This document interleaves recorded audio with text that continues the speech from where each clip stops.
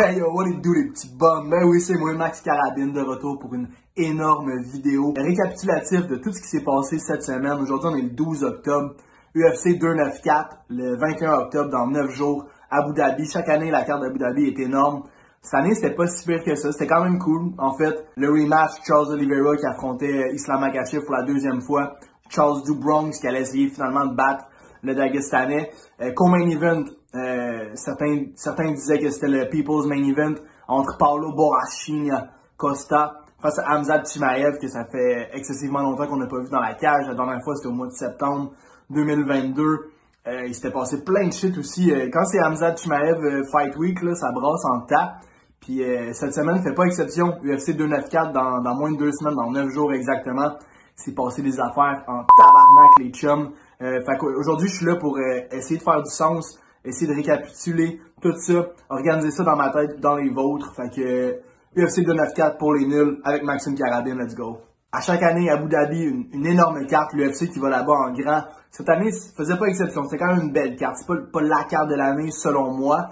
Euh, mais c'est quand même une énorme carte. On avait Charles Dubronx, Oliveira, qui allait pour, euh, euh, une deuxième chance, un rematch face au champion Islam Makachev.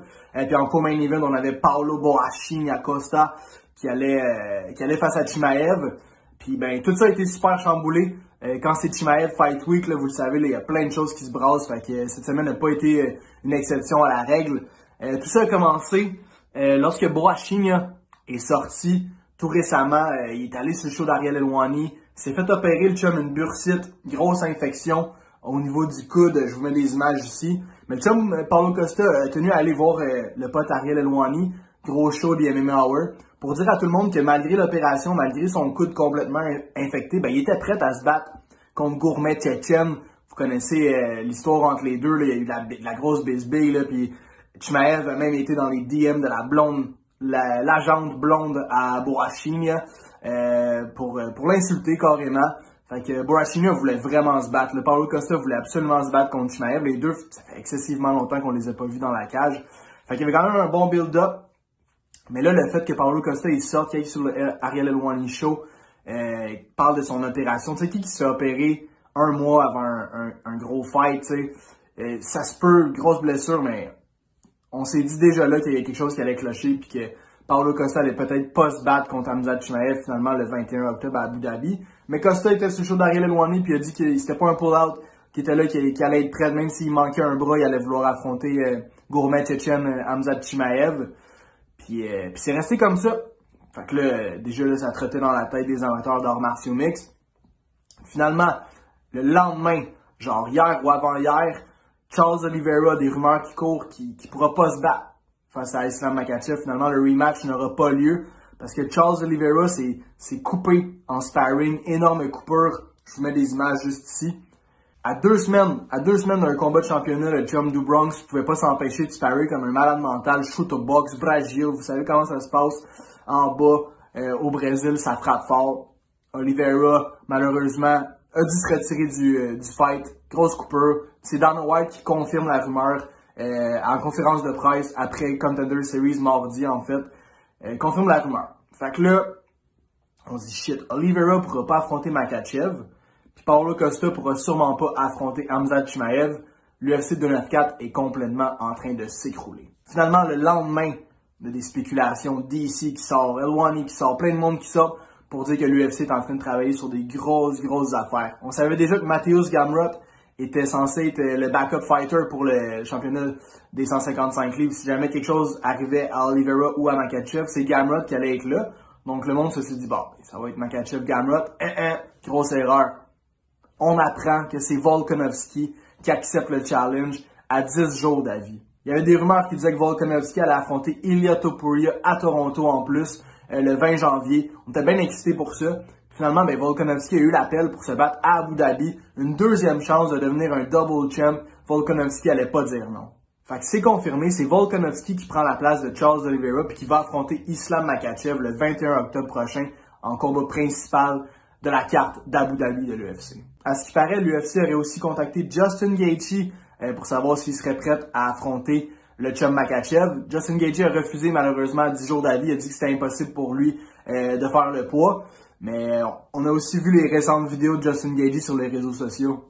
Même Poirier dit qu'il s'est fait contacter puis qu'il a accepté, mais finalement c'est Volkanovski, puis honnêtement ça fait bien mon affaire. J'étais down de voir Charles du Bronx Oliveira, mais un rematch de Volkanovski contre Makachev, le premier fight était complètement débile. Volkanovski avait arguably gagné, sinon le cinquième round, mais il avait dominé complètement puis gagnait le combat.